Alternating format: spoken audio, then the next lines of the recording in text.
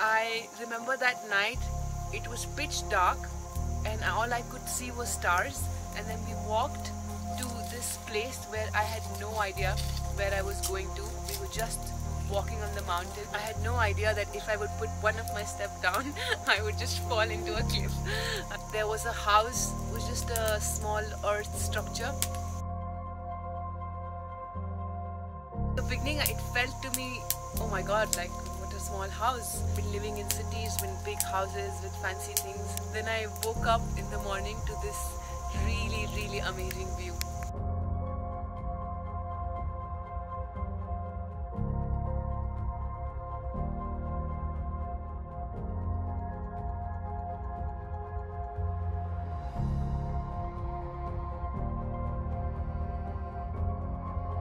Life just seemed so simple, full of colors and ease and time.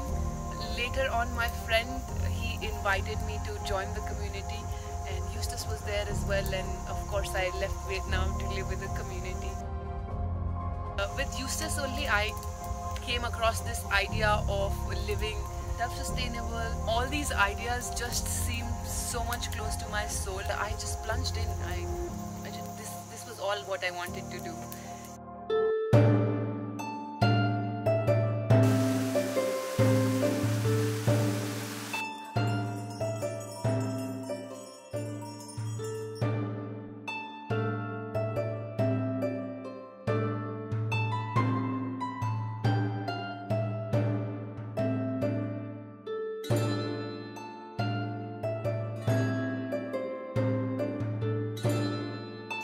Realized in the process that we wanted to have our own home, have um, our ideas were a little bit different from other people. We, we decided to have our own place, and um, it was a huge process to find the land.